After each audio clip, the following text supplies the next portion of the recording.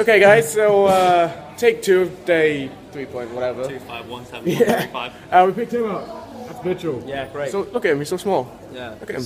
Well, I'm not saying that much. Fuck off. he's so small. Uh, we're obviously getting food.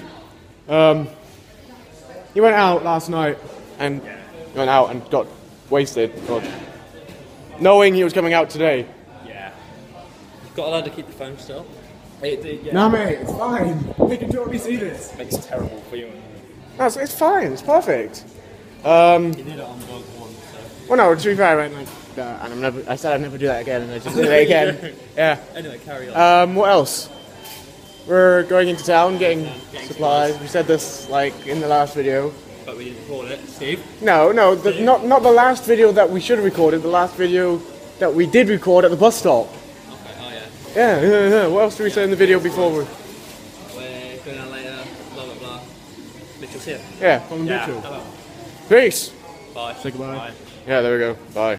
Okay, guys. So quick update. Um, Mitch isn't here anymore.